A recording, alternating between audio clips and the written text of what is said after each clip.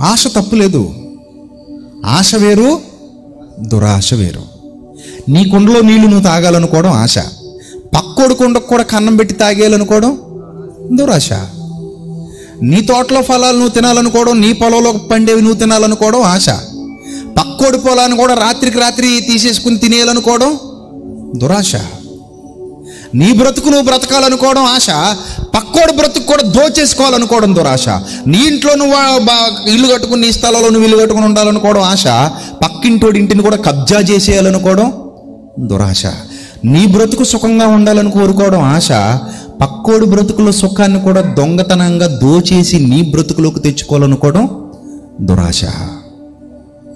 ఇలా మానవ జీవితంలో దురాశ అనేది చాలా ప్రమాదకరమైంది. ఆ దురాశ వల్లే మానవుడు పాపానికి పాల్పడుతున్నాడు. పాపానికి లొంగిపోతున్నాడు. దురాశ. మీకు తెలుసు ప్రారంభం నుండి కూడా బైబిల్ గ్రంథంలో మీరు పరిశీలన చేస్తే దురాశే. అవ్వకు పుట్టింది ఏంటది? దురాశ. ఏమైనా పోయే కాలమా? ఏమైనా ప్రాబ్లమా? జీవితం బాగానే ఉంది కదా? అవ్వ ఆదాములకి ఏమైనా లోటు చేశాడా? ఏమైనా లోటు ఉందా ఏ లోటు లేదు. కానీ ఇంకా ఏదో కావాలన్న దురాశ పుట్టింది. ఆ దురాశ పుట్టించిందే దుష్టుడు. ఏమని పుట్టించాడు అనుకుంటున్నారు? మీరు ఈ పండు తిన దినమున దేవతల వెళ్ళి ఇక్కడ ఎన్నో కొబ్బరి చెట్లు ఉన్నాయండి. అంతేనా? చాలా ఉన్నాయి కదండి ఇక్కడ చెట్లు. అలాగే ఏదైనా వనంలో కూడా చాలా చెట్లు ఉన్నాయండి. అందులో అన్ని చెట్లవి తినొచ్చు కానీ ఒక చెట్టుది మాత్రం తినకూడదు. ఉదాహరణకి తినదగినవి ఒక వెయ్యి చెట్లు ఉన్నాయనుకోండి.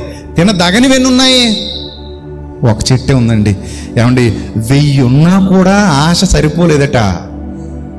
ఆ, ఒక్కటి మీదకి వెళ్ళింది. అదే దురాశ వంటి సంఘటనలు. రెండోది రెండోది జీవితాలు చూస్తే కయ్యిన హేబేలు. కయ్యిన హేబేలు ఏంటి? కయ్యినికి లైఫ్ బాగానే ఉంది. హ్యాపీగా వెళ్ళిపోతుంది జీవితం. పంట పండించుకుంటున్నాడు. హేబేలు జీవితం కూడా హ్యాపీగా వెళ్ళిపోతుంది. హేబేలు దేవుని సన్నిధికి వచ్చాడు. కయ్యను కూడా దేవుని సన్నిధికి అర్పణ తెచ్చాడు. కానీ దేవుడు హేబేలును బట్టి అతని హృదయాన్ని లక్ష్య పెట్టి అతని అర్పణను కూడా లక్ష్య పెట్టాడు. కయ్యను అతని హృదయాన్ని అతని అర్పణను దేవుడు లక్ష్య పెట్టలేదు. కయ్యనికి అక్కడ మరలా ఏం పుట్టింది? దురాశ పుట్టింది. దురాశ.